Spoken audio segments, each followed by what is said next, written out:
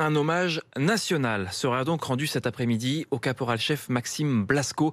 C'est le militaire de 34 ans mort en opération au Mali vendredi dernier. Il avait été décoré plusieurs fois pour ses actes de bravoure, comme en 2019 quand il avait sauvé euh, plusieurs militaires lors d'une intervention.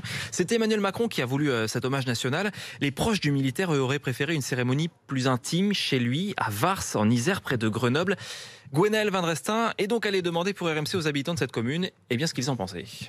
Pour tous les habitants de Vars, Maxime Blasco est un héros. Ses faits d'armes ou encore le sauvetage de ses camarades en 2019 méritent un hommage national pour Laurence. Après les missions qu'ils ont, le travail qu'ils font, c'est normal de les respecter, de leur rendre hommage et euh, de faire un dernier adieu à ces héros de la France. Un hommage aux invalides que la famille du militaire et notamment son père ne voulait pas, un souhait qui aurait dû être respecté pour ses habitants. Il faut respecter la, décision de la famille. Peut-être que lui, c'est ce qu'il aurait voulu. Je pense qu'il faudrait... Euh, prendre en compte leurs souhaits en priorité, mais c'est vrai de ne pas faire un hommage national, ça serait vraiment dommage. Quoi. Pour Jean-Luc Corbet, le maire de la commune, cette cérémonie militaire est tout de même nécessaire. Je pense que le passage par les Invalides à Paris est un passage, euh, une figure euh, obligatoire pour l'État français. On se doit ce soutien, ce soutien de tout un chacun et de la nation tout entière, puisque euh, à Paris, c'est la nation tout entière qui s'inclinera devant, devant le cercueil de, Maxime. À la demande de la famille, le nom de Maxime Blasco devrait prochainement être gravé sur l'un des monuments aux morts de la commune de Vars.